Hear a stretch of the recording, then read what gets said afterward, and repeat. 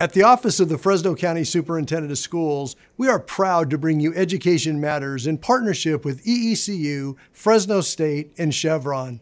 Thank you for watching positive stories about education.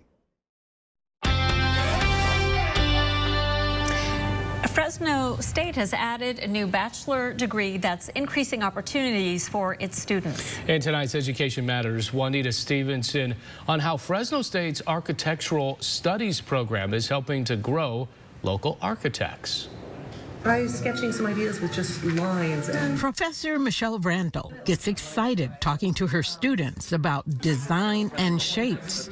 An architect by profession, she's thrilled to see the development of the Architectural Studies program at Fresno State. It is exciting to build it because architecture has always been an emphasis here in the construction management department. So there's always been people interested in it. They've gone on to be architects, but they haven't had the degree. Many of the students in this design class are the first group of freshmen to directly apply to the Architectural Studies program.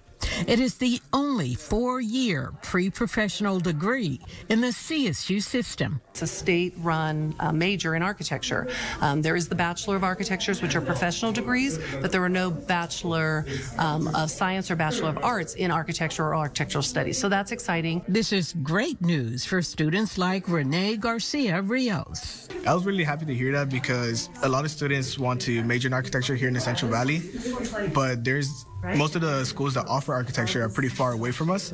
So it's really cool to see that Fresno State is offering it now. Garcia Rios, who went to high school in Merced, says a lot of students from the Central Valley can't afford to go away to college, and Fresno State is giving them an affordable option.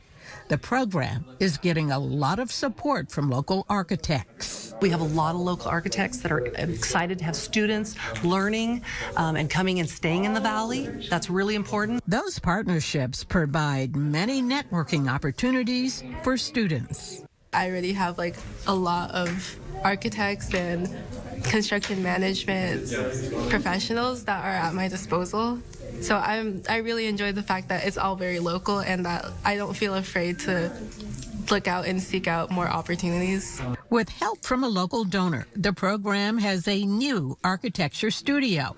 And Professor Randall says the curriculum will include the latest technology to accommodate a changing industry. We're really trying to promote a program that will build licensed architects in, in California and other states. For Education Matters, I'm Juanita Stevenson, KC24, local news that matters.